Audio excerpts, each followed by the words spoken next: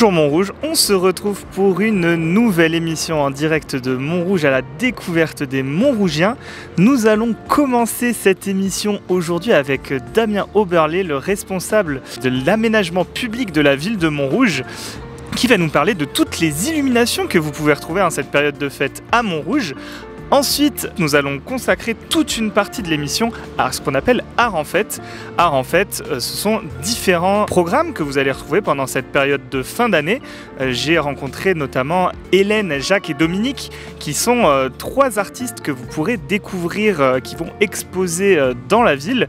Ensuite, j'ai pu rencontrer pendant le Téléthon Philippe et Sylvie de euh, Art des Demain euh, qui nous ont parlé du salon des créateurs qui, qui, aura lieu les 18 et 19 à l'hôtel de ville que vous voyez derrière moi. Et enfin, j'ai aussi rencontré un autre Philippe, mais celui-ci c'est Philippe Cacheux qui faisait partie des lauréats du salon des artistes montrougiens. Voilà pour ce gros programme de ce Bonjour Montrouge un peu spécial fête de fin d'année. On passe tout de suite à la nuit, on éclaire les lumières, c'est parti. 3, 2, 1, 0 Et là, ouais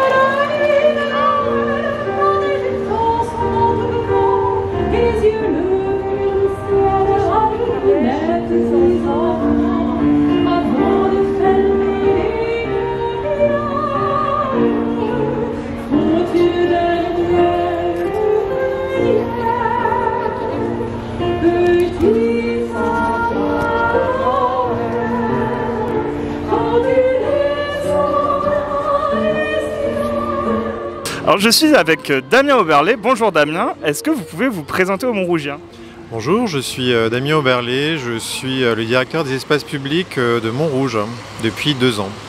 Alors en quoi consiste votre travail du coup? Alors de façon générale, ma direction s'occupe de, de, faire toute l'exploitation maintenance au quotidien pour les Montrougiens et aussi de conduire des projets de renouvellement ou de réaménagement tels que le projet Gino Gauthier par exemple. En fait, on, conduit euh, avec euh, nos équipes euh, de maîtrise d'œuvre l'ensemble des études nécessaires à l'organisation et à la préparation de travaux et ensuite on conduit les travaux avec les entreprises désignées dans le cadre des appels d'offres publics. Ok. Et, donc on est ensemble pour parler notamment bah, ce qu'on voit derrière nous et ce qu'on voit un peu partout dans la ville, des, illuminations pour la période des fêtes de fin d'année.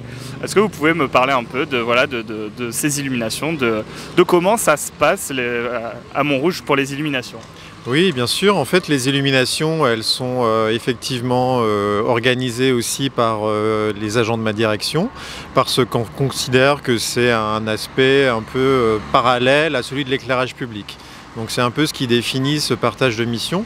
Après, voilà, moi en tant qu'Alsacien d'origine, euh, c'est un sujet que j'aime beaucoup et qui m'amuse. Et donc c'est la raison pour laquelle on essaye euh, de faire des projets intéressants, y compris euh, sur les illuminations de fin d'année. Donc des illuminations à Montrouge, on en retrouve comme là devant le parvis de l'hôtel de ville, et on en retrouve aussi dans, plein d'autres endroits. Il y a le, le square Renaudel, la place Messier par exemple. Euh, qu'est-ce qu'on y retrouve? Donc il y, a des ours, il y a des montgolfières. Quel est le thème un peu?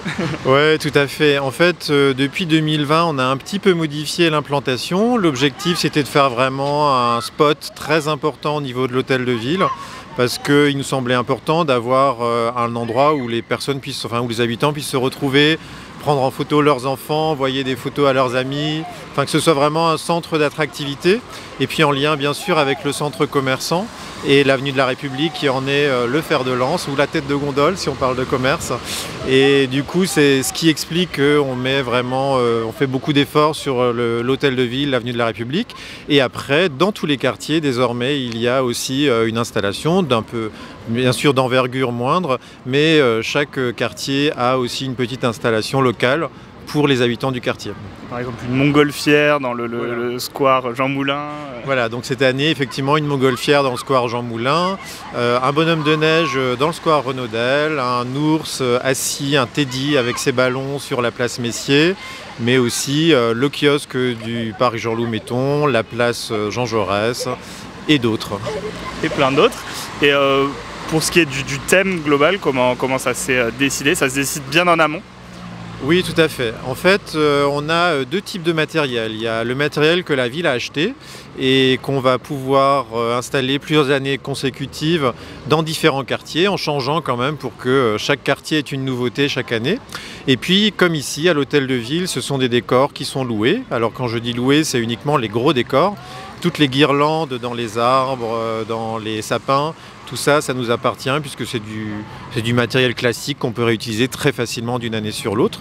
Et donc, euh, chaque année, on choisit un thème qui est décliné exclusivement euh, sur l'hypercentre, donc euh, l'hôtel de ville et l'avenue de la République, et qui change avec, avec les envies et puis avec les tendances, les tendances. Parce que, y compris dans les illuminations, il y a des tendances. Oui, c'est vrai que par exemple, l'année dernière, on pouvait retrouver des, devant nous les boules de Noël qui étaient sur la, sur la place, euh, Émile Cresp, mais cette année c'est le retour de la patinoire, donc euh, aussi ça, va être euh, un pôle important. Exactement, l'année dernière, compte tenu de la crise sanitaire, on n'avait pas pu installer la patinoire. Cette année, elle sera de retour, donc on en est très très, très ravis. Ça, sera bien combiné avec tout ça. Et pour les gens qui pourraient se poser la question de, un peu l'énergie euh, avec l'aspect écologique de, ces LED, est-ce que vous avez un petit mot à ce niveau-là? Oui, tout à fait. Alors on a vraiment des décors euh, dernière génération. La plupart euh, ont été fabriqués en 2020 ou 2021. Donc on est exclusivement sur des décors éclairés en LED. Donc avec une très très faible consommation. Et par ailleurs, ce sont des décors qui sont réutilisés plusieurs années soit parce qu'on les a achetés et qu'on les réutilise plusieurs années, soit parce qu'ils sont loués, mais en fait souvent les décors qu'on a, ils ont été loués les années précédentes ou ils seront loués les années suivantes à d'autres villes par les, par les fabricants. Et donc c'est des décors qui servent vraiment de nombreuses années. Ça marche. Bah, super, euh, merci beaucoup pour, euh, pour toutes ces précisions euh, sur les éclairages de Noël. Eh bien, à bientôt et puis profitez, profitez bien. Merci.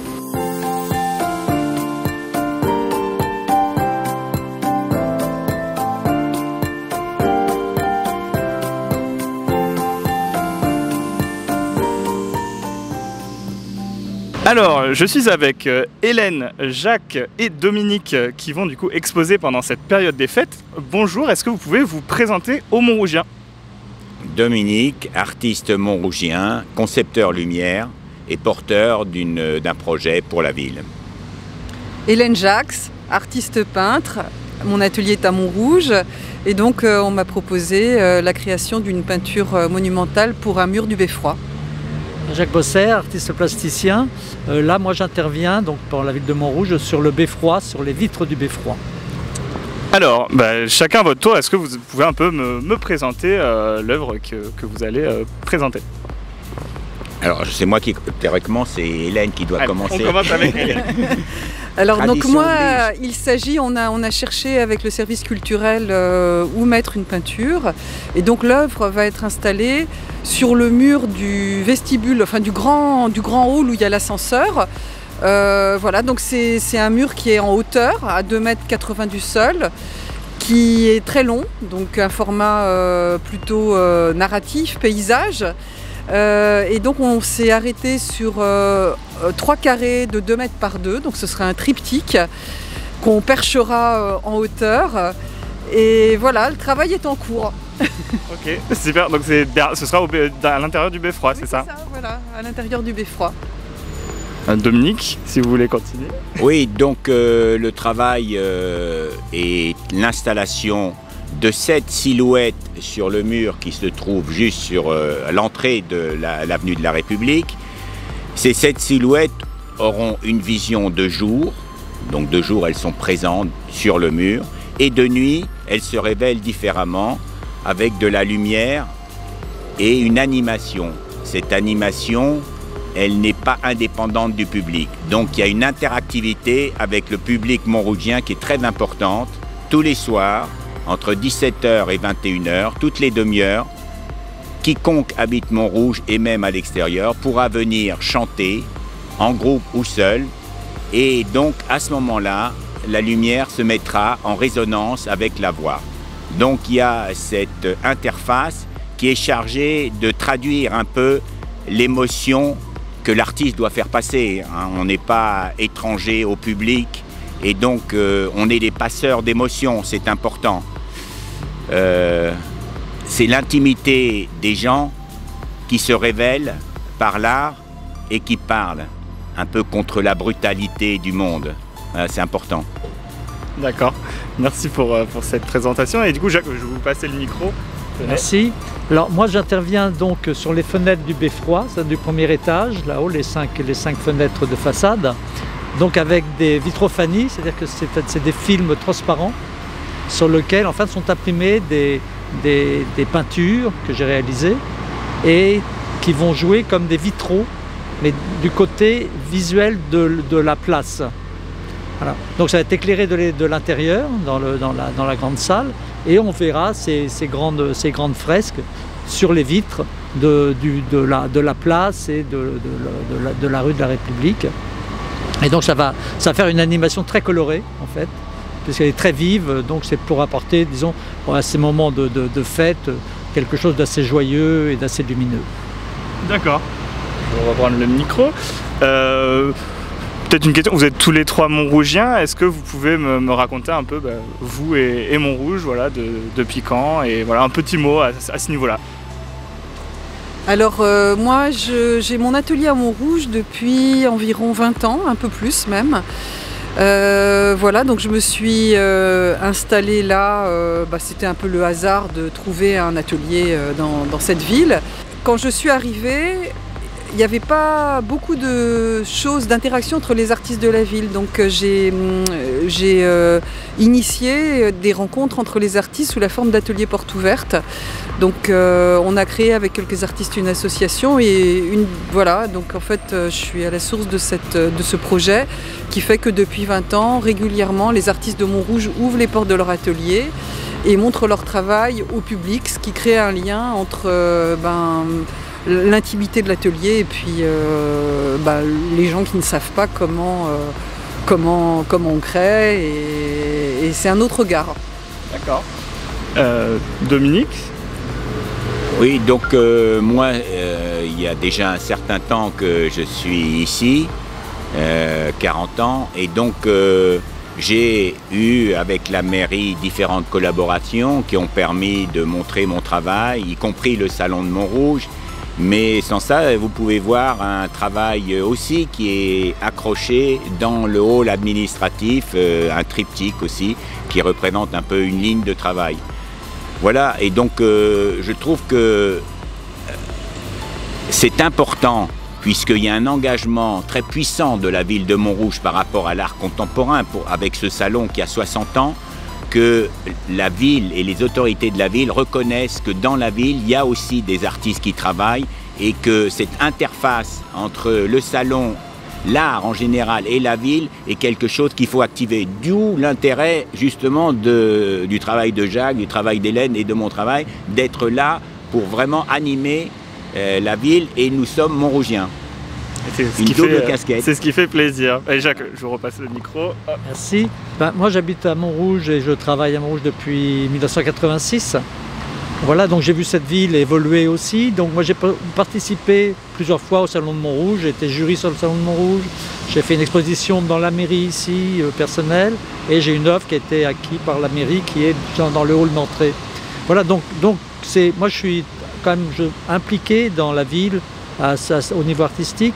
Et je trouve que la ville, elle, elle se développe avec ça, avec les artistes montrougiens. Et c'est une bonne initiative de, faire appel à des artistes montrougiens pour, pour participer à la vie collective. Ok, super.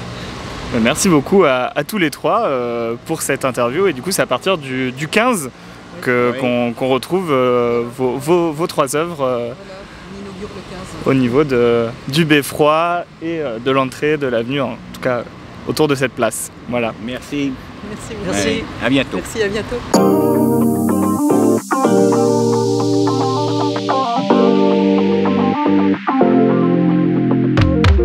Je suis en direct du Téléthon à Montrouge avec euh, Philippe et Sylvie au, stand de Art des Demain. Bonjour, est-ce que vous pouvez vous présenter aux Montrougiens Alors, d'abord euh, Sylvie, Bonjour, euh, euh, moi je suis dans l'association depuis quelques années, je suis trésorière et je travaille avec Philippe qui est notre président. Voilà, enchanté. Alors bonjour, c'est Philippe, je suis président de l'association Art Demain. On est une association d'artistes et on fait une expo par an. En fait, c'est sur un week-end. Et l'idée, c'est que se retrouver tous ensemble pour échanger des combines et se retrouver, en fait, ça, donne une fusion de groupes qui nous apporte plein plein d'idées. Voilà, ça c'est les invites. Hop, elles sont plus là, et là, les voilà. En fait, euh, en fait, le principe, c'est qu'un artiste qui a une expo peut créer. Donc c'est exposer pour créer, mais c'est aussi créer pour exposer, pour pouvoir faire euh, l'expo et lui donner la possibilité de, de se montrer, de parler avec le public et des collègues avec des échanges. C'est convivial. Voilà, c'est ça, c'est convivial. Ben, comme là au Téléthon, ben, c'est vrai qu'on a de la musique en fond, donc vous avez un stand là, parce que c'est voilà, il y a, à la fois des stands, il y a de la restauration, il y a de la musique au Téléthon. Ça, se passe bien jusqu'à jusqu'à présent? C'est super. bien, on est toujours bien accueillis, c'est toujours une bonne ambiance, c'est très agréable. Oui, puis la mairie nous aide bien et tout cœur avec nous. Et à chaque fois qu'on a des événements, on travaille ensemble justement pour, euh, pour créer de nouveaux événements. Voilà. Voilà, parce que voilà, c'est incorporé à ce qui est art en fête là pour la pour la les fêtes de fin d'année. et du coup voilà l'événement sera euh, le, les 18 et 19 le week-end du 18-19 euh, l'événement art des demain. Alors attends, il y a En fait cette année on change de lieu, on n'est plus ici dans la salle Nicole Ginou puisque ça sera art et artisanat qui sont aussi, c'est une exposition de tous les artistes montrougiens, voilà, vous connaissez. Et nous, en fait, on va faire notre expo euh, à l'hôtel de ville. Et euh, ça va être sur le week-end, samedi, dimanche en fait. On va retrouver une trentaine d'artistes exposants. Donc on sera moins nombreux, mais euh, vous serez toujours bien accueillis. Et c'est une exposition conviviale sur le thème de l'échange en gros.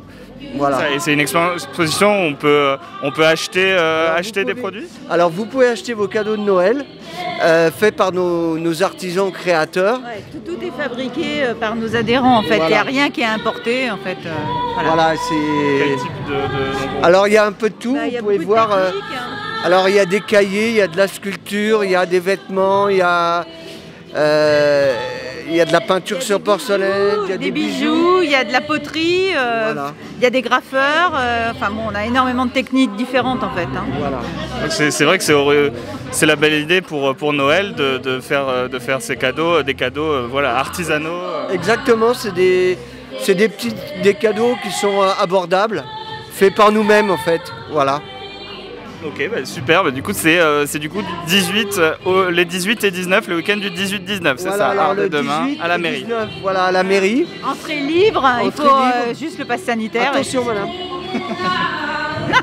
non, ce sera dans le. Ouais. Voilà. Voilà. Ok, ça marche. Bah, merci beaucoup. merci beaucoup pour cette. Donc 18 et 18 et 19. Le 18-19.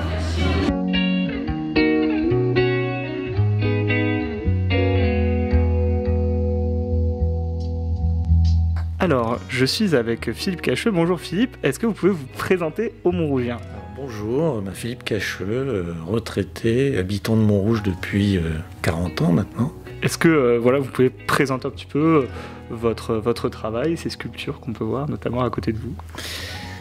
Eh bien, en fait, je me suis mis à la sculpture très récemment. Je suis un... Ça a été une sorte de révélation. C'était que j'ai commencé en 2019.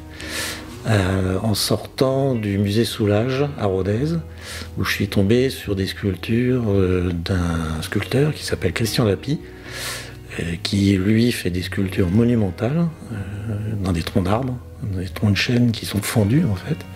Quand je monumental, c'est 4, 5, 6, 7 mètres de haut. Enfin, c'est euh, qu'il installe dans, la nature. Et là, entre autres, euh, pour le centenaire de, Soulage, il y avait euh, parsemé dans la ville quelques-unes de ses œuvres. Et ça m'a emballé. Et je me suis dit, mais c'est ça qu'il faut faire. après avoir quand même pas mal testé ou tâté d'un certain nombre de matières, de matériaux. Et je me suis donc lancé. donc la première que j'ai faite, c'est une petite copie euh, presque de ce que fait Monsieur Christian Lapie. Et puis après, bah voilà, j'ai un peu évolué, essayé de trouver mon style. Euh, et en fait, Méditerranée, c'est la deuxième sculpture que j'ai réalisée. Donc le fait d'avoir euh, été primé à art et artisanat m'a euh, conforté dans, cette démarche et m'a incité à continuer. Oui, parce que voilà, Méditerranée, c'était pour art et artisanat, donc le salon des créateurs de, de Montrouge, qui est cette année regroupé dans, Art en Fête. et donc c'était, vous, avez été, vous avez eu le, prix du, jury. Est-ce que vous pouvez nous raconter comment, comment ça s'est passé pour vous? Parce qu'en plus, c'était euh, à l'époque euh, un peu une première. Ouais, c'était complètement une première. C'est vrai que après avoir fait cette première sculpture euh, de, de, copie, je dirais, de, de, Christian Lapie, on est rentré sur Montrouge et mon épouse me dit tiens, il y a art et artisanat, ça aurait peut-être le coup de, regarder, de se renseigner. Donc c'est vrai que le thème, en fait, m'a tout de suite séduit, le thème du chemin.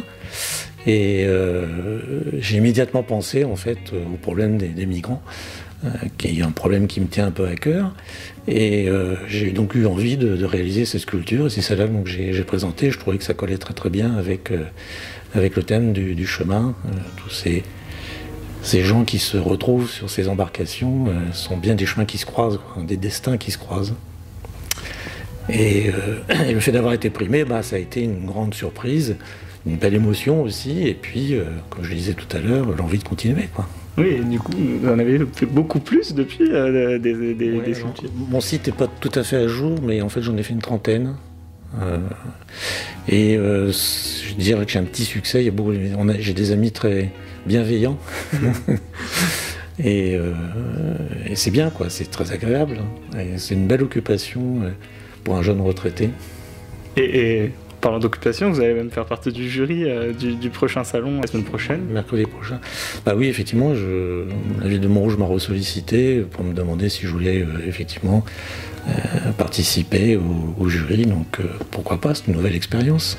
Vous pouvez nous parler un petit peu de vous et Montrouge? Ça fait, ça fait combien de temps que, vous êtes à, Montrouge? Alors, Ça fait 40 ans que, nous sommes à Montrouge, 40 ans que nous sommes ici. Euh, bah, c'est une ville qui a beaucoup évolué en fait, euh, qui évolue en permanence, euh, plutôt en bien. Non, on s'y sent bien en fait. Et c'est vrai que les différentes activités, et en particulier cette, volonté d'appuyer sur, de mettre en avant les Montrougiens et, et, leurs pratiques artistiques, je trouve ça tout, à fait sympathique et bienvenu. Ça marche. Merci beaucoup en tout cas Philippe de nous avoir accueillis euh, chez vous euh, pour cette petite interview. Ben, merci à vous d'être venu et peut-être à bientôt. À bientôt.